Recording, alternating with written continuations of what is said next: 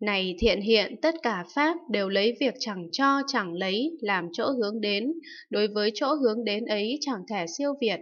Vì sao? Vì trong việc chẳng cho chẳng lấy, chỗ hướng đến chẳng phải chỗ hướng đến, đều chẳng thể nắm bắt được. Này thiện hiện, tất cả Pháp đều lấy việc chẳng nâng chẳng hạ làm chỗ hướng đến. Đối với chỗ hướng đến ấy chẳng thể siêu việt.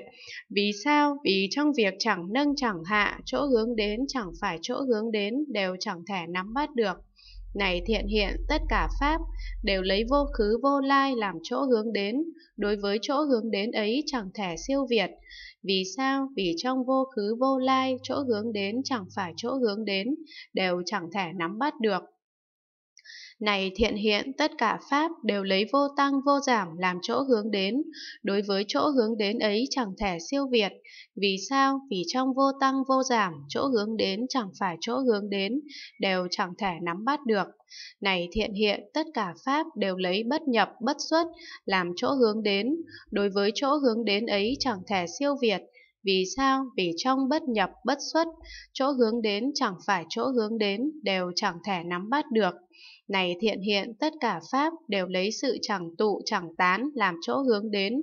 Đối với chỗ hướng đến ấy chẳng thể siêu việt. Vì sao? Vì trong sự chẳng tụ chẳng tán, chỗ hướng đến chẳng phải chỗ hướng đến đều chẳng thể nắm bắt được. Này thiện hiện, tất cả Pháp đều lấy sự chẳng hợp chẳng lìa làm chỗ hướng đến. Đối với chỗ hướng đến ấy chẳng thể siêu việt. Vì sao? Vì trong sự chẳng hợp chẳng lìa, chỗ hướng đến chẳng phải chỗ hướng đến, đều chẳng thể nắm bắt được.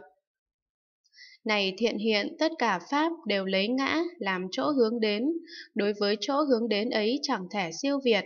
Vì sao? Vì ngã rốt ráo còn không có sở hữu, huống là có chỗ hướng đến, chẳng phải chỗ hướng đến có thể nắm bắt được. Này thiện hiện, tất cả Pháp đều lấy hữu tình làm chỗ hướng đến, đối với chỗ hướng đến ấy chẳng thể siêu việt. Vì sao?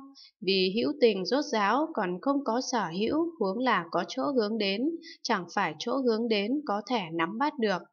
Này thiện hiện, tất cả Pháp đều lấy dòng sanh mạng làm chỗ hướng đến, đối với chỗ hướng đến ấy chẳng thể siêu việt. Vì sao? Vì dòng sanh mạng rốt ráo còn không có sở hữu, huống là có chỗ hướng đến chẳng phải chỗ hướng đến có thể nắm bắt được.